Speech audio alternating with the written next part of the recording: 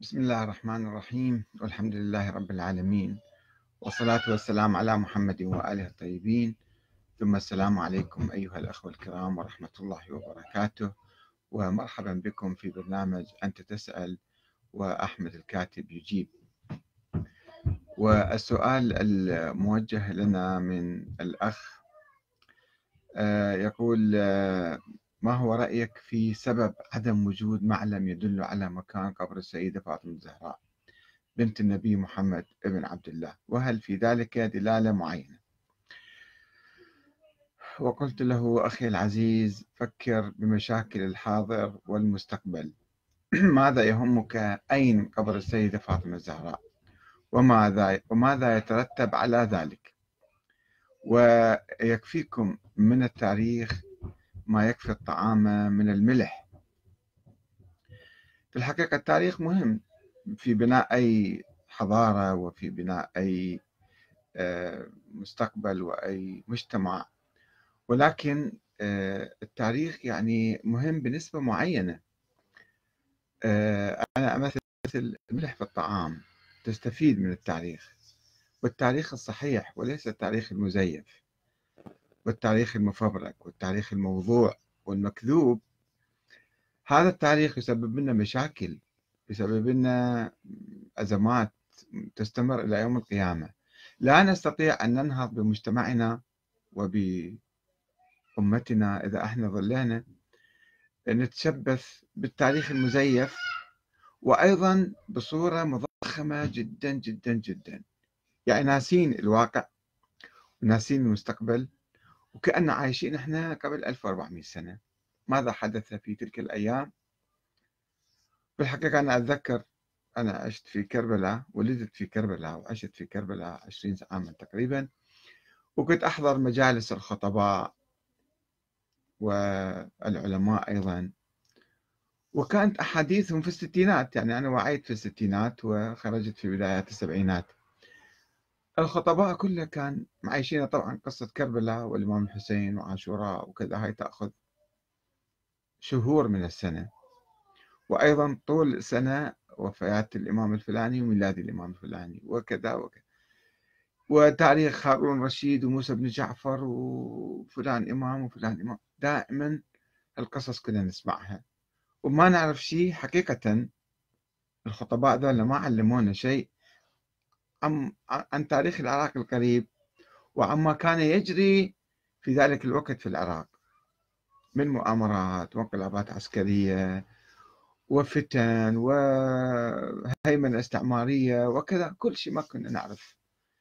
يعني الثقافة السائدة هي كانت ثقافة المنابر وثقافة الكتب اللي كانت تصدر ذيك الأيام أيضا كلها تدور حول هذا التاريخ. كل ما عندنا كتب ونشاط ومجلات وجرائد جرائد خاصة بالمتدينين يعني.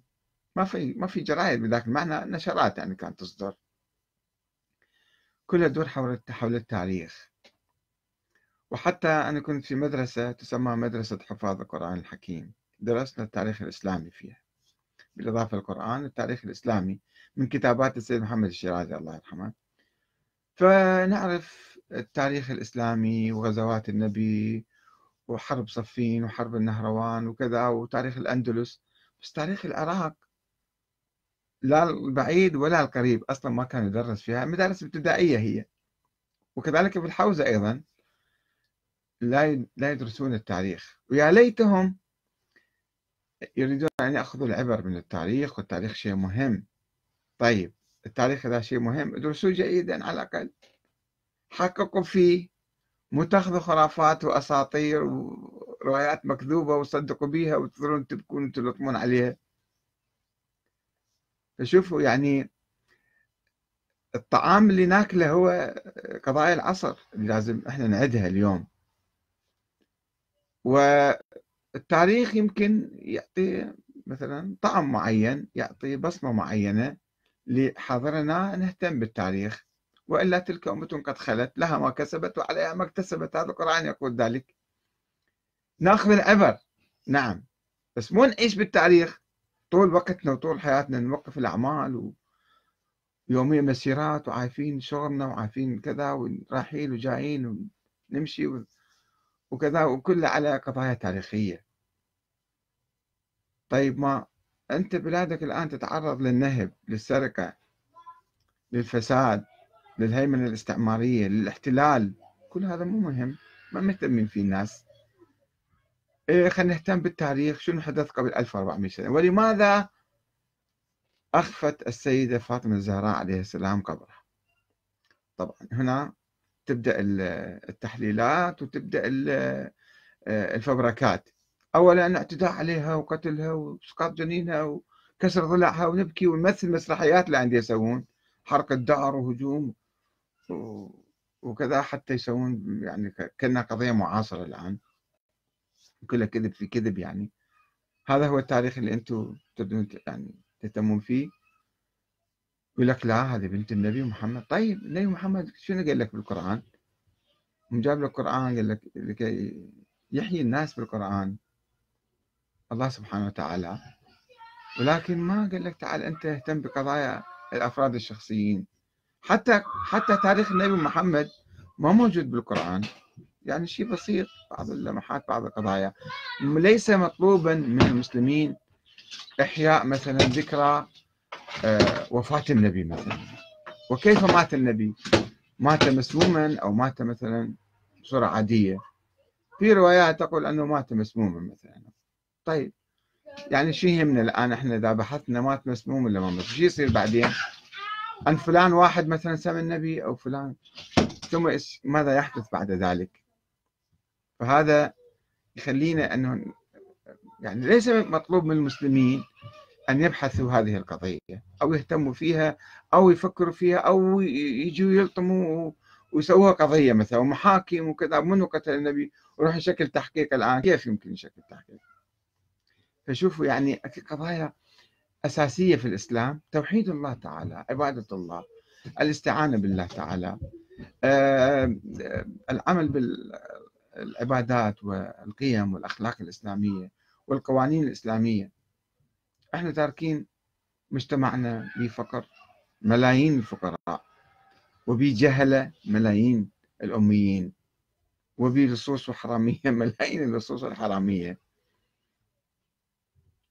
وتاركين ما نهتم كيف نعالج الفقر كيف نعالج الجهل كيف نعالج الفساد الأخلاقي اللي موجود الآن. أن نهتم أنه والله فاطمة الزهراء قتلت أم لم تقتل؟ ومن قتلها؟ وكيف قتلت؟ ولماذا أوصت بأن تدفن؟ سر هسه أوصت إحنا يعني شو نقدر نسوي للموضوع هذا؟ قضية تاريخية وخلافات شخصية وليس من الدين أن تؤمن بهذا الشخص أو ذاك. الدين هذا القرآن موجود ما في أشخاص.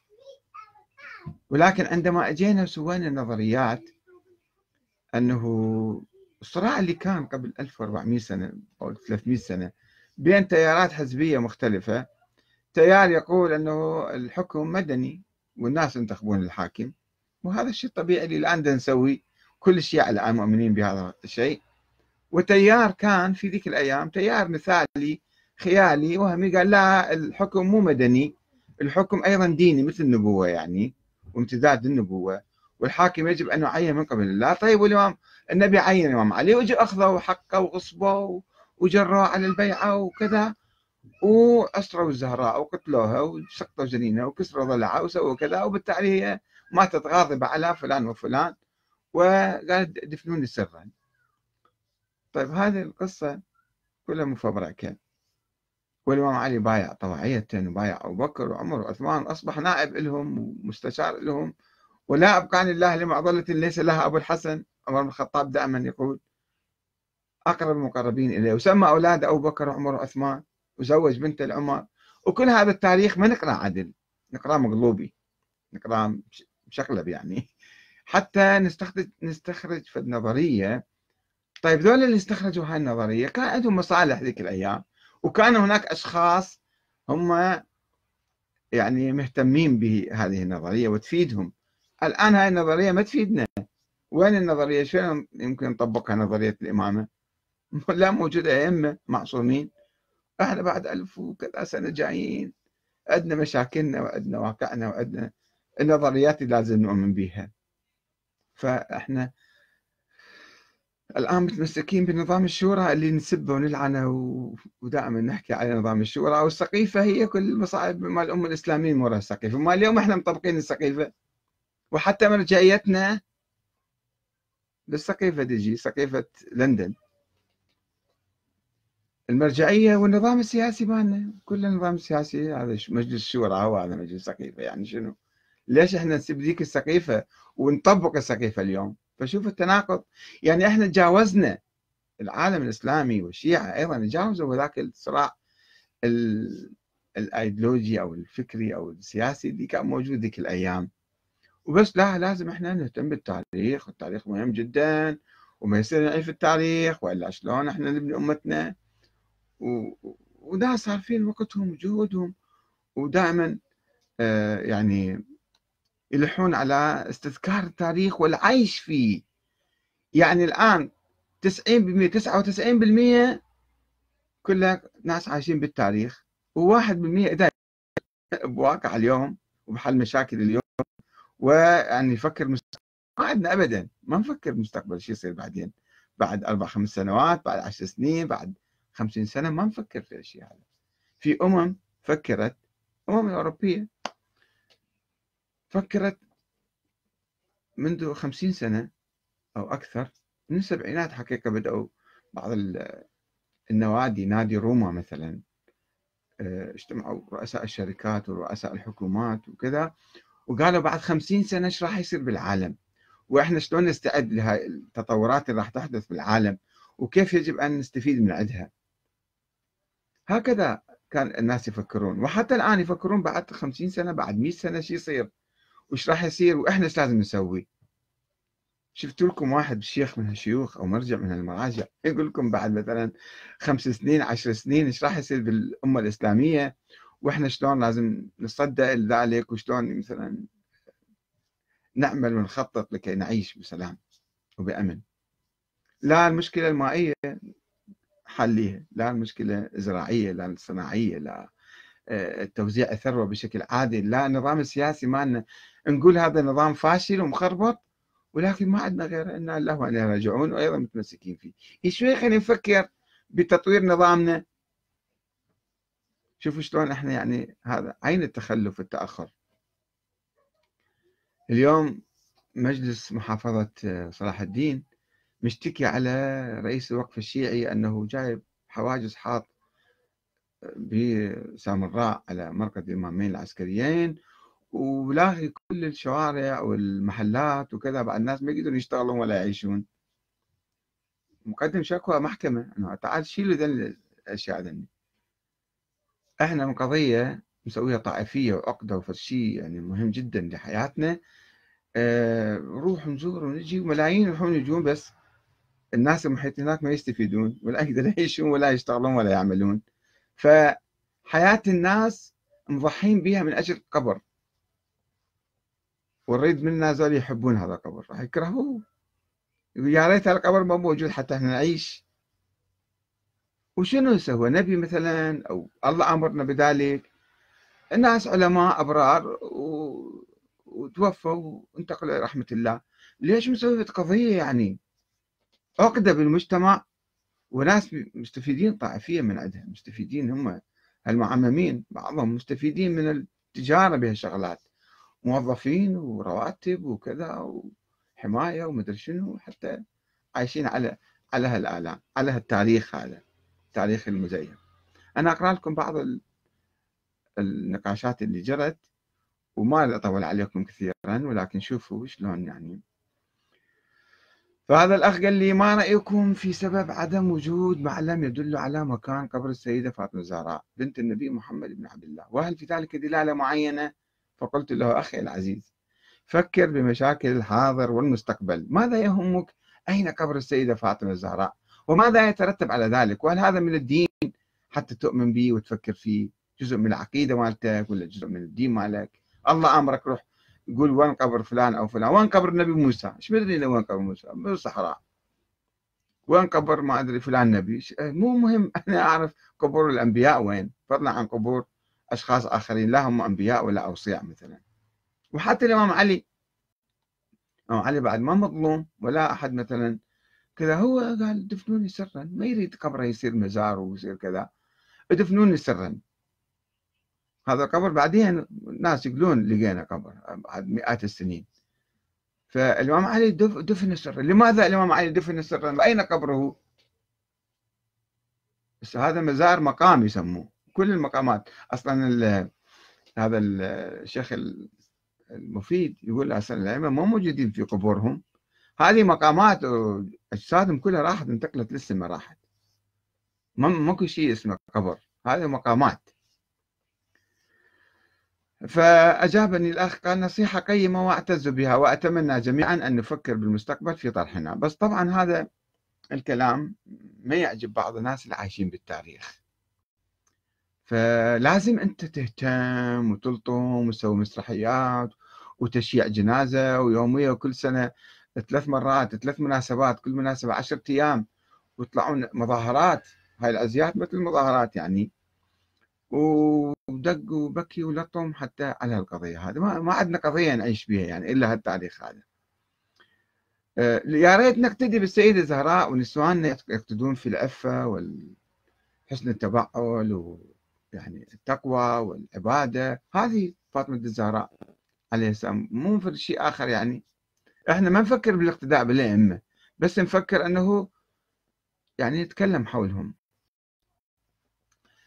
الأخ محمد العبدلي يقول عذرا أستاذ أحمد كلامك صحيح لكنه غير مقنع ولا يتناسب مع السؤال. ليش أقول له يعني؟ أقول له روح روح آه أنت روح ابحث عن قبرها مثلا الآن أو أقول له روح مثلا شنو نسوي؟ روح سوي له قبر أنت وهمي وعيش عليه.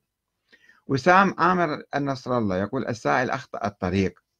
إن مراقد المعصومين عند الشيعة لها دلالات حركية وروحية في آن واحد. والشواهد كثيرة في مراقد المعصومين أثناء الزيارات المخصوصة والمستثمرة. إيه شفنا هاي شفنا هاي الفوائد والدلالات الروحية. أن الإمام الحسين اللي هو أبرز قبر عندنا اللي استشهد وعنده قضية وعنده كذا ملايين يروحون يزورون يرجعون لا كأنهم زاروا ولا كأنهم عرفوا الحسين. ونفس الوقت الزيارة ممنوع عليك أن تناصر أي قضية. مو يقولون كربلاء كل يوم عاشوراء وكل أرض كربلاء. يعني هناك قضايا حية يجب أن ندعمها. ونقاوم الظالمين والمستعمرين والصهاينة والمجرمين في العالم. بس إحنا عازلين الحسين عن العصر. وممنوع أحد يرفع لافتة يقول مثلا ينصر المظلومين في اليمن أو في فلسطين أو في لبنان أو في أفغانستان أو في أي مكان. ممنوع. ممنوع أن تربطوا المرجعيات هذه توصي بذلك. أنه ممنوع أحد يستغل قضية الحسين لمثلا رفع راية معينة للإستفادة من الزخم الجماهيري في مقاومة الظالمين.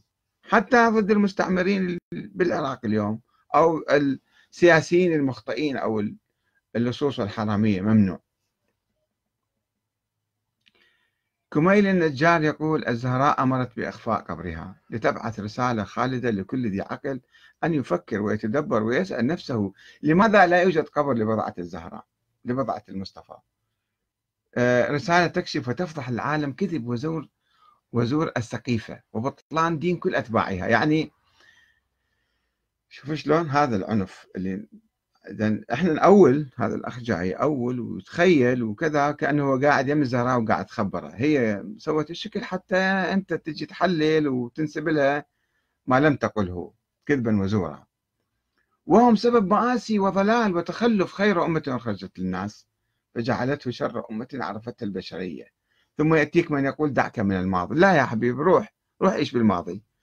وفكر بمشاكل الحاضر. وهالمشاكل الحاضر كلها إلا نتاج السقيفة المشؤومة التي غيرت مجرى تاريخ الأمة وحرفت عقيدتها وسودت التاريخ وصبغته بالدماء والويلات والآلام والحرمان والطغيان والظلم. بعد ما عنده كلمة يقولها خلص كل الكلمات.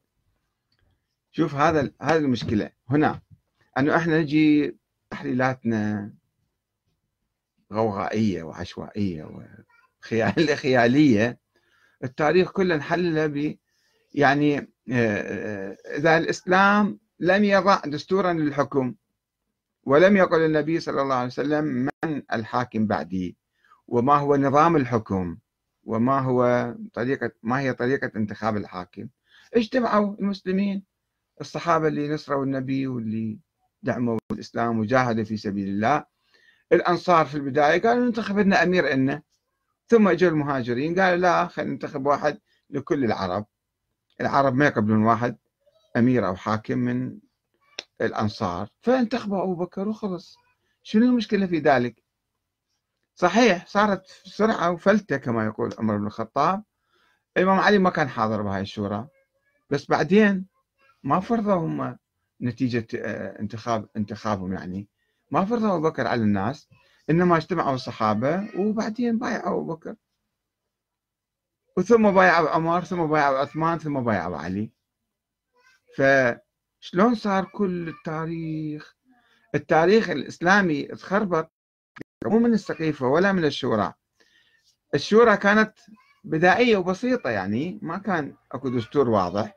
كان فيها مشاكل وكان فيها ثغرات وبالتالي أدت إلى الفتنة الكبرى وصارت يعني مشاكل وانهارت آه، تلك التجربة. بس بعدين الأمة الإسلامية دهورت لأنه صار عندنا استبداد صار عندنا حكم وراثي. أموي وعباسي وفاطمي أيضا نفس الشيء. وبعدين جت النظريات أنه لا الحكم بهالعائلة. ثم ماذا بعد؟ وين صارت العائلة؟ عائلة راحت. ف نجي نحلل التاريخ بهالطريقة هذه مع الأسف الشديد.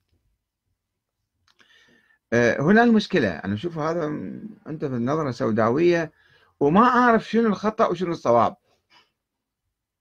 إذا كانت الأمور من الشورى أو من السقيفة ليش إحنا مسوين مجلس برلمان الآن؟ ليش بإيران انتخابات ومجلس برلمان مجلس شورى ودستور وكذا؟ طورنا. بعد إحنا يعني آه، نعيش يعني نتأثر بهالمقولات اللي هي نتاج آه، تحليلات خاطئة ونظريات باطلة. ونظريات وهمية خيالية. أنتجت هالتحليلات دبينا كل اللوم على السقيفة وعلى الناس اللي قاموا بالشورى. يا أخي مو هالشكل علاء أحمد الصفار يقول قال الله تعالى ولا تلبس الحق بالباطل وتكتم الحق وأنتم تعلمون. طيب شنو صار يعني؟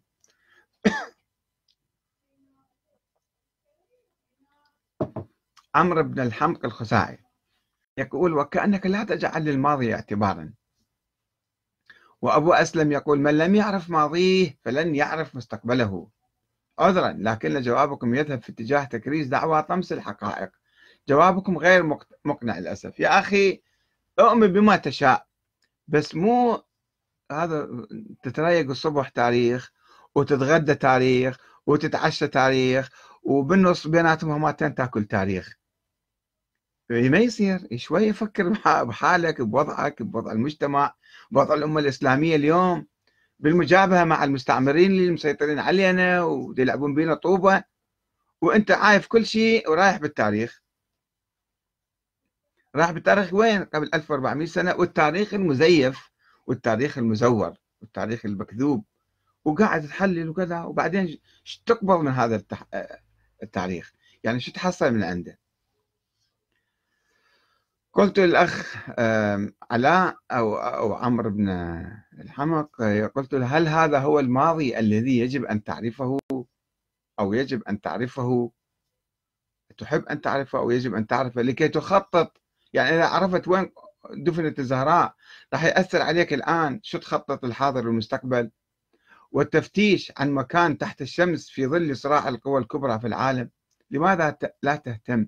بالبلاد المستعمرة والمحتلة والمحاصرة والشعوب المظلومة اليوم.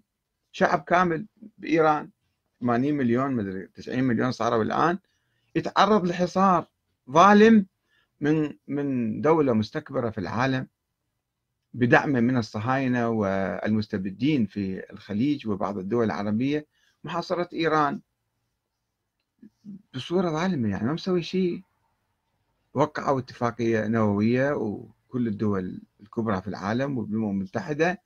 وبعدين أمريكا يجي ترامب يقلب الطاولة رأسا على عقب وتعالوا يا إيران اخضعونا إذا خضع شعب كامل شعب مسلم إذا خضع لإرادته إرادته الصهيونية. صهيونية من وراء ذلك. إسرائيل وراء ذلك. وإحنا واقفين متفرجين. ما علينا. هاي مو ظلم.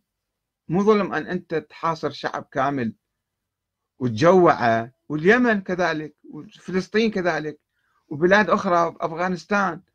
يعني هالشعوب كلها تتعرض لمآسي ولكبت وقتل وتفجير. سوريا الآن يوميا أمريكا قاتلة الناس وقاصفة الناس. و...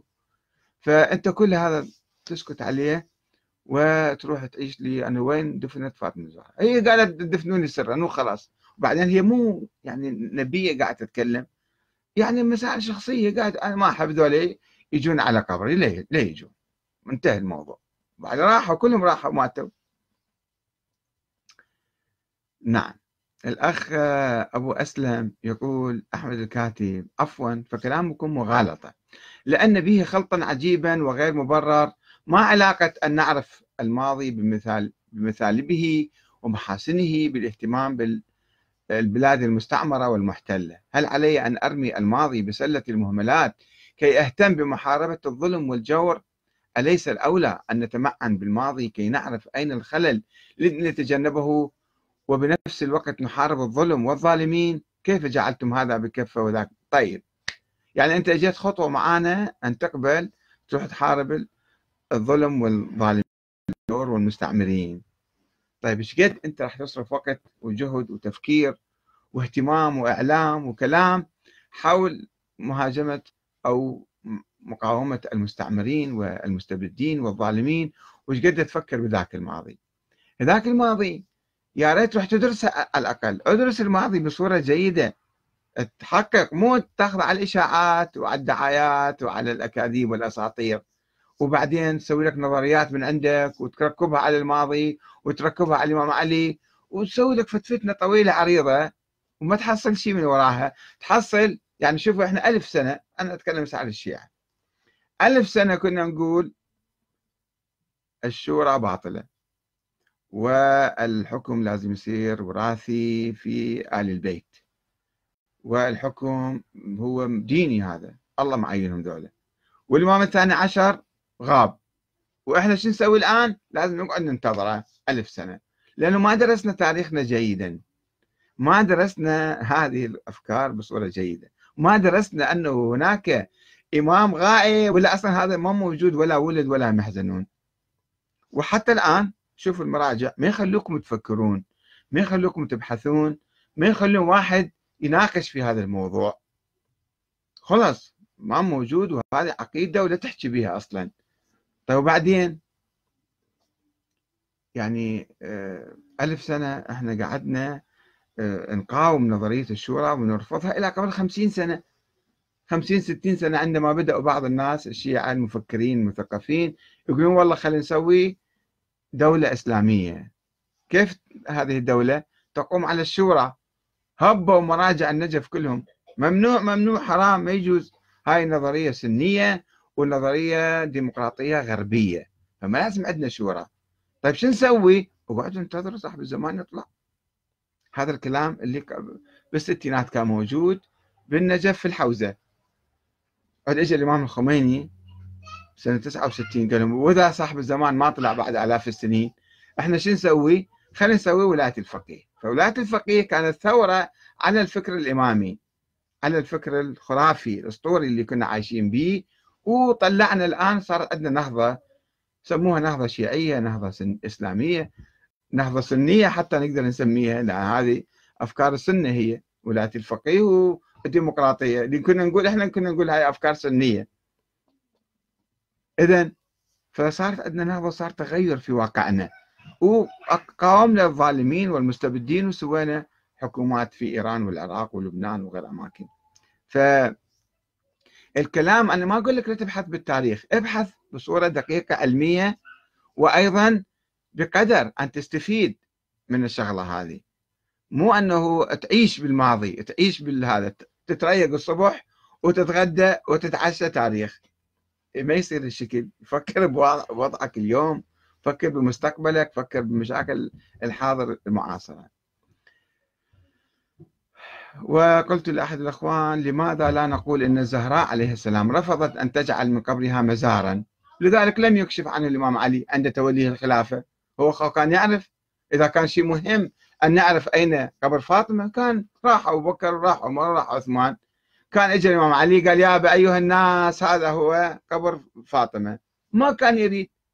مو قضية مهمة ولم يعتبر ذلك قضية مهمة. مش وين نفكر مو بس ناخذ نكرر الكلام بالتقليد الأعمى وإن تعجب فاعجب من عقول استبدلت القضايا الشخصية الهامشية الجزئية بجوهر الإسلام والتشيع ولا هم لها سوى البكاء على الماضي السحيق خلافا لما فعل أئمة أهل البيت الذين لم يتوقفوا عند تلك القضايا الشخصية وركزوا على العدل والثورة على الظالمين في زمانهم وليس على من يحسبهم الجاهلون ظالمين في التاريخ. أنت اليوم من الظالم في حياتك اليوم؟ مو اللي تتصوره أنهم ظلموا آل محمد. وهم ما ظلموا ما سووا شيء يعني. نبو بلاصر البابلي. كلام لطيف. يقول ولو طويل ولكن أنا ما أطول عليكم كثيرا أقرأ شوية من عنده. يقول أليس لنا ما يشغلنا؟ من أمور تعني بمستقبلنا ومستقبل أولادنا. أم أن المستقبل والتفكير به والاستعداد له أصبح بالنسبة لنا ترفا ألا يكفي أننا ننبش الماضي وعلى امتداد أكثر من ألف سنة وأسسنا أسسا رصينة لمشاكل لا حل لها؟ ألهتنا عن اللحاق بالأمم المتقدمة. ولكي ننعم بالراحة والهدوء وكذا ننعم بخيرات بلادنا كما تفعل الأمم المتحضرة. لماذا ترى المجتمع الأمريكي على سبيل المثال مستقرا ويمارس حياته بشكل طبيعي علما أن فيه الشيعي والسني والبوذي واللاديني وكل الأديان؟ والصفة الأعم الأغلب عليه أن لا يتجاوز أحد على أحد والكل يحترم الكل. إن أنا متأكد بأن أغلب السادة الكرام ممن كتب في هذا الموضوع لا يعرف موضع قبر جده ولست أدري ما المشكلة في ذلك. كل ذهب إلى رحمة الله ورضوانه. أرى من الأفضل أن نقتدي بالسيدة الزهراء في مسيرة حياتها من تقوى وورع وزهد وحسن تبعد لزوجها رضي الله عنها وبرها بأبيها وتربيتها لولديها السبطين الجليلين الإمامين سيداي الحسن والحسين رضي الله عنهما كما يقول الأخ. انظروا بعقول متفتحة. ماذا لو سارت نساء المسلمين بسيرة الزهراء؟ بكل تفاصيلها. هل نرى ما يحدث في المجتمعات الإسلامية من تفسخ وهبوط؟ أخبروني يرحمكم الله. هل كنا نرى شباب المسلمين بهذا الانحلال؟ ليس أحرى بنا أن نربي أجيالنا على ثقافة الزهراء في التربية والتعليم ليكون أبناء الزهراء قدوة لشبابنا؟ أخواني يقول سيدي صادق أهل البيت وهو مصدق مخاطبا أصحابه كونوا زينا لنا ولا تكونوا شينا علينا. أين نحن من كلامه؟ وهل يرضى بهذا التنابز بالكلمات بين المسلمين؟ لنرجع إلى عقولنا ونفكر كما يفكر أهل البيت النبي. سيما وفي الختام الكل أمام الله حيث الموعد القيامة والحكم والحكم الله وزعيم محمد. وعذرا من الكل إذا جانبني الصواب عند البعض ولم يستسغ كلامي. الأخ أبو زهرة يقول هذه إجابتك أنت إجابة ماكرة. وتم قبولها من عقل فارغ يعني عقل متروس. ألست تدعي أنك باحث في التاريخ الإسلامي؟ لماذا لم تجبه إذن؟ أو لست ترهق نفسك بمحاولات محاولة إثبات عدم وجود إمام غائب عبر الانشغال بدراسة أحداث الماضي؟ وأنا أسألك ماذا يترتب على إثبات إثباتك لذلك؟ ربما لتغيير قناعات باطلة حسب رأيك. وكذلك معرفة سبب عدم وجود قبر الزهراء سيترتب عليه أثر عقائدي ولائي. من حيث إثبات ظلامتها من عدمها وموقف الخليفة منها والذي يمثل موقفه من بعلها. وهذا بلا شك سيكون موقفه من النبي وبالتالي سنتعرف على موقف الخليفة من الله جل ذكره. صار أبو بكر وعمر ذولا معادين لله تعالى. معادين للنبي ومعادين للإمام علي. شوفوا هذا التاريخ المزيف المقلوب. أني أبحث في موضوع الإمام الغائب. وبحثوا دائما يشوفوني مثلا. أتكلم ليش؟ هذه مو قضية تاريخية. قضية معاصرة اليوم. عندنا الآن مراجع يدعون أنهم هم نواب هذا الإمام. والشرعية الدستورية لهم. وهم الحكام الشرعيين. وما يصير واحد يسوي أي حكومة أو أي دولة أو أي ثورة أو أي حزب حتى إلا أن يأخذ إجازة من عندهم. وهم يأخذون أموال من الناس باسم أنه يأخذون سهم الإمام. خمس وزكاة وغيرها. ومسوين إمبراطورية دينية مركبيها علينا. وكانوا يحكمونا ويقولون الحكومة أصلا حرام ما تسوون حكومة هم حكومتهم فقط. فأنا أبحث موضوع الإمام الغائب الإمام الثاني عشر المفترض حتى أقول أن المرجعية الدينية ليست لها شرعية دينية من الله ولسنا مجبرين بتقليدها أو اتباعها. هم أشخاص بعضهم يفتهمون بعضهم ما يفتهمون بعضهم مجتهدين بعضهم أصلا مو مجتهدين. ومقلدين وأكثر من مقلدين. فقضية بناء نظامنا السياسي الديمقراطي يتوقف على توضيح موقف المرجعية. المرجعية ما هو ماذا تشكل بالنسبة لنا؟ هل هي تحت النظام الدستوري؟ فوق النظام الدستوري فوق النظام الديمقراطي فوق القانون. كل ما تفعل كل ما تعمل هي مقدسة وما يجوز نحاسبها وما يجوز نراقبها وما يجوز مثلا ننتقدها أو لا هم ناس بشر مثلنا لابسين عمايم ولابسين كذا مثلا أزياء معينة وبالتالي إحنا لازم دولة آه، نقدسهم ونعظمهم ونخضع لهم وكل شيء هم يكونون فوقنا. هذا إذا قضية حيوية. أنا ما أبحث بس قضية واحد. مثلا هناك شخص آخر شبيبي هذا اسمه محمد بن عبد الله الأفطاح. قضية تاريخية أم قضية تاريخية؟ ناس ادعوا وجود ولد للإمام عبد الله الأفطاح ابن جعفر الصادق. وناس قالوا لا هذا كذب. نفس القضية مشابهة. بس الآن ما عندنا ناس جايين يدعون أنهم هم نواب محمد بن عبد الله الأفطاح. شفت لكم فد مرجع أو فد عالم يقول أنا نائب فلان وأنا الحاكم الشرعي. لو اجى واحد قال هالكلام إحنا سوف نناقشه ونقول له هذا أسطورة وخرافة.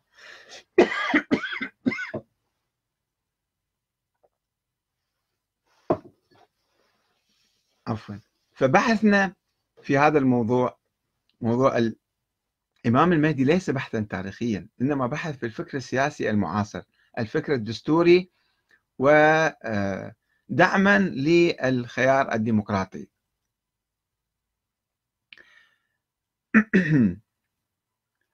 آه، طيب خلينا نشوف آه، أخوة آخرين من صفحة ثانية ماذا قالوا وماذا قلنا لهم.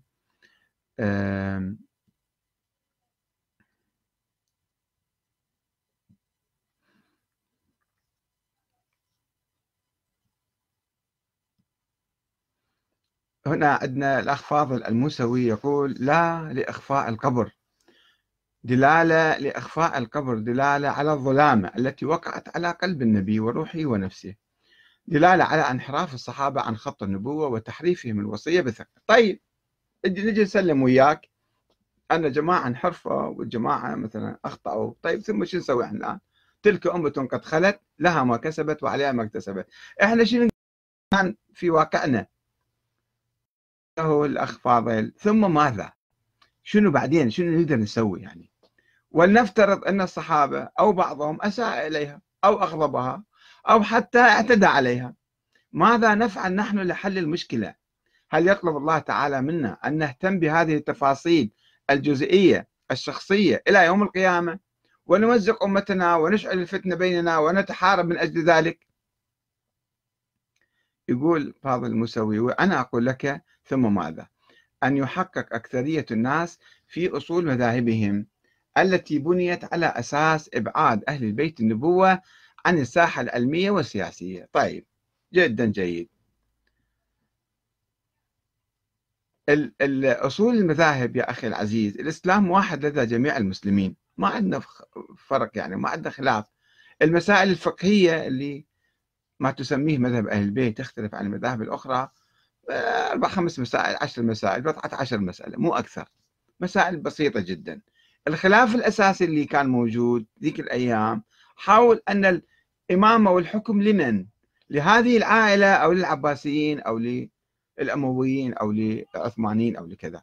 وهذا ذول العوائل والمذاهب والأحزاب كلها راحت. الآن إحنا شنو عندنا؟ ما عندنا لا أهل البيت نقدر نرجع لهم الحكم ولا حتى علميا حتى علميا وسياسيا. يعني الآن المراجع الشيعة عندهم مئة ألف مسألة أو أكثر ربما. كم مسألة جايبيها من جعفر الصادق أو محمد الباقر بضعة مسائل. وآلاف المسائل الفقهية هم مخترعيها بالاجتهاد مالهم. فإحنا شلون نسمي نفس يعني علميا شلون نستفيد من أهل البيت؟ وسياسيا كيف نستفيد منهم ما عندنا. عندنا الاقتداء بهم. الاقتداء بالإمام الحسين بالإمام علي في العدالة والقانون والشورى والديمقراطية. نعم. يمكن إحنا نستفيد بهذا. اللي أنت ما تعرفه وتنكره أيضا. يعني أنت ما تعرف أهل البيت وتنكر مذهب أهل البيت وتقول أنا أريد أستفيد من أهل البيت. آه الأخ أميل يونس يقول لفاضل الموسوي يا أخي فاضل لنخرج من أعماق التاريخ وخلافاته وإذا ذكرناها نذكرها كقصص تاريخية لنستفيد من العبر لا لنجعلها دينا. وهنا هنا المشكلة. تلك أمة قد خلت لها ما كسبت وعليها ما اكتسبت ولنا ما نكسب. ونحن جميعا نحب آل البيت آل بيت رسولنا والذي هو ملكنا جميعا. الأخ ناظم محسن يقول هو أنت أول الذين تثير المشاكل والفتن عبر منشورات تقلد فيها السلف من الوهابية وأكثرها ضد عقائد المذهب الإمامي الاثني عشري وكلامك وجهه إلى نفسك. أولا هل يحاسبك الله إذا تركت الناس وشأنهم؟ أنا أعمل في سبيل الله إن شاء الله وأرى أن آه، اعتناق بعض الناس بالتاريخ للمذهب الإمامي الاثني عشري. هذا خلاف مذهب أهل البيت هذا مو مذهب أهل البيت المذهب الإمامي الاثني عشري. المذهب الإمامي في زمن أهل البيت هم كانوا يرفضوه وهذا موجود بالكافي يقول لا إحنا مو أئمة معينين من قبل الله فهذا مذهب مصطنع. وماكو دليل على الأئمة واحد واحد لا نص ولا وصية ولا معجزة ولا يحزنون. فشلون تعرف المذهب الإمامي؟ المذهب الإمامي هو مذهب وصل إلى طريق مسدود وانتهى. انتهى بعد 100 سنة سووا المذهب الاثنى عشري في القرن الرابع الهجري وكبلوا الشيعة ودفنوهم في السراديب. العباسيين كان لهم دور كبير في صناعة المذهب الاثنى عشري وانتظار الإمام اللي ما موجود ومرتاحين العباسيين اقعدوا انتظروا مئات السنين آلاف السنين. فالمذهب الاثنى عشري قتل الشيعة دمر الشيعة همشهم أخرجهم من الحياة. مو بس من التاريخ. إلى أن الآن رجعوا لمذهب الشورى. مذهب أهل البيت هو مذهب الشورى. نظرية الشورى هي مذهب أهل البيت الحقيقي. الآن الشيعة يطبقون هذا المذهب سواء في إيران أو في العراق أو أفغانستان أو لبنان أو أي مكان آخر. فإذا آه، أنا من أبحث هذا التاريخ مو أرجع للسلف. السلف الوهابية ما يؤمنون بالشورى ولا يؤمنون بالديمقراطية ويحاربون عندهم الديمقراطية كفر وإلحاد. وأنا أدعو للديمقراطية وأدعو للشورى وأدعو ل آه، يعني تفعيل دور الأمة في الحياة ونقد الحكام ومحاسبتهم ومراقبتهم وتغييرهم أنا وين والسلف الوهابية وين بس أنت يعني بح يعني اخذ حريتك في أن أن تقول ما تشاء ولكن اتق الله فيما تقول. آه كلام آه كثير وأنا طولت عليكم صار أكثر من 45 دقيقة يمكن. آه, آه، حمزة بن أحمد يقول نحن نقص عليك أحسن القصص بما أوحينا إليك هذا القرآن وإن كنت من قبل لمن الغافلين. لنشغل عقولنا قليلا توفيت فاطمة الزهراء عند زوجها ودفنها زوجها وأولادها وحكم العالم الإسلامي زوجها وأولادها هل تريد أن تقول أن زوجها وأولادها أيضا من ظلمها الأخ كمال منتهى يقول إخفاء القبر كما قال لي أحدهم أنه لتدفن بقرب أبيها سرا كي لا يعترض معترض أو يطمع طامع شريف. هاي تحليلات يا أخي العزيز. ناظم أبو, أبو فارس يقول أعجب من أمة تتعلق بقبور الأموات من الصالحين ولا تتوجه إلى رب العالمين رب السماوات وخالق الكون. كانت سياسة علي رضي الله عنه إخفاء القبور اقتداء بالنبي صلى الله عليه وسلم وهو الذي أخفى قبر الزهراء. ففي صحيح مسلم كذا يقول آه، حدثنا عن علي قال لي علي بن أبي طالب ألا أبعثك على ما بعثني عليه رسول الله أن لا تدع تمثالا إلا طمسته ولا قبرا إلا مشرفا إلا سويته. وعلي قد أوصى بإخفاء قبره أيضا فعلى كل ذلك حفاظا على التوحيد ودرءا للشرك رضي الله عنه وأرضاه. ثم لماذا البحث عن القبور؟ وقد قال تعالى وما أنت بمسمع من في القبور. ثم ما علاقة موضع القبر بالظلامة إن كانت هناك ظلامة. ما هو الربط؟ الحمد لله على نعمة العقل. آه، الأخ محمد الحجامي يجيب يقول دلالة على حدوث جريمة نكراء. لم تحدث في الأولين والآخرين. فشوفوا هنا المشكلة أنه إحنا نفتعل آه، قصص تاريخية مزورة وأساطير ونقول هذا تاريخ لازم نتمسك فيه. هنا المشكلة أنه نعيش بالتاريخ المزيف. يا ليتنا نعيش بالتاريخ الحقيقي ونعرف مذهب أهل البيت الحقيقي ونقتدي بهم في حياتنا هذه الأيام. والسلام عليكم ورحمة الله وبركاته.